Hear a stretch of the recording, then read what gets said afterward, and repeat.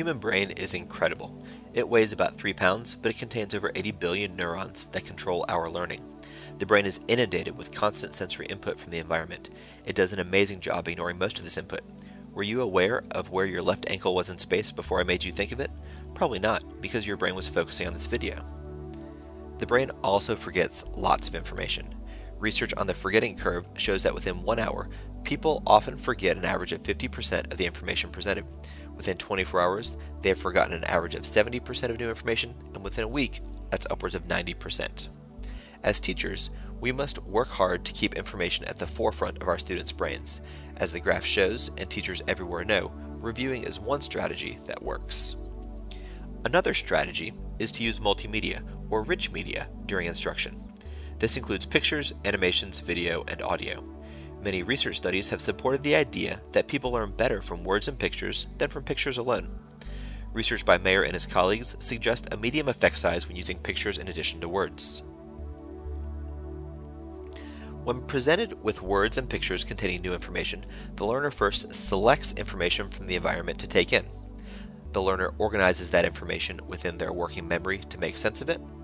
Finally, the learner integrates new knowledge into existing long-term memories. A major goal of instructional design is to promote good cognitive processing, meaning selecting, organizing, and integrating new knowledge without overloading the brain's processes. While the research is clear that rich media helps students learn, let's look in depth at how visuals can influence learning. First, which students are helped most by visuals? When comparing novices and experts, visuals help novices much more than experts, since visuals make up for the background knowledge that experts already have. Research also suggests that there is no correlation between the learning style a student self-selects, their learning style based on an assessment, and their ability when using visuals to learn.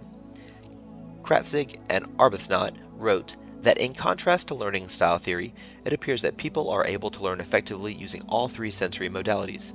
This finding is corroborated by Massa and Mayer, who found that giving visual learners visual lessons gave them no advantage over giving auditory learners auditory lessons.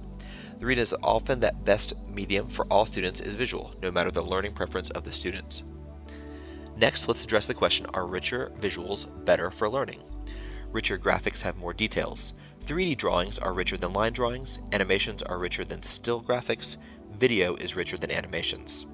We'll examine three ways to compare types of rich media. 3D drawings versus line drawings, still graphics versus animations, and animations versus videos.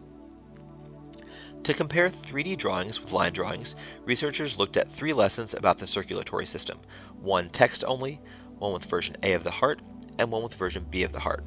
While students who learned with visuals did better than students who learned with only text, the students who did best learned with the line drawing, version B.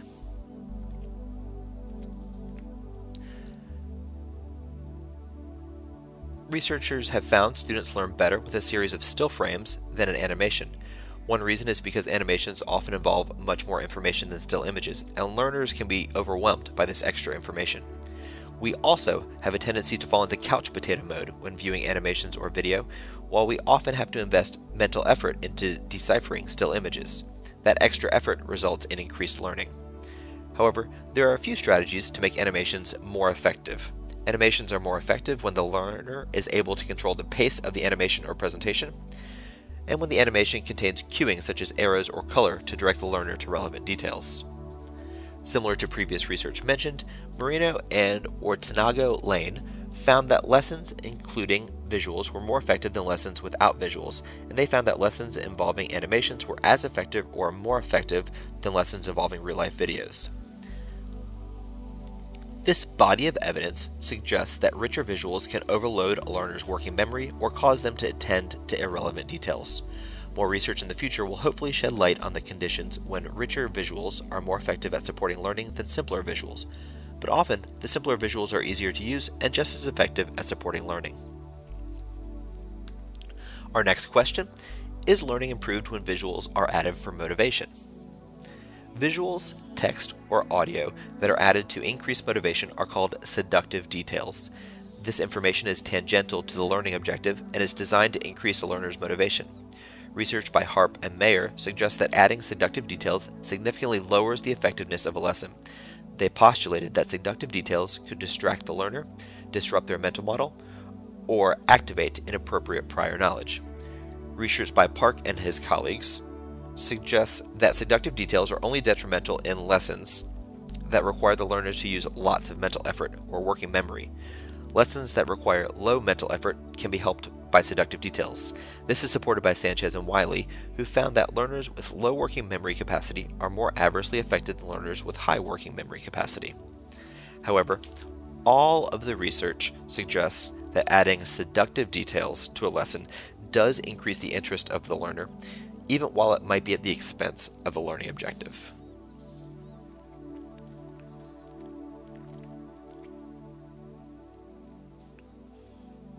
The final question, should we address explain visuals with text or audio when we have the option to choose?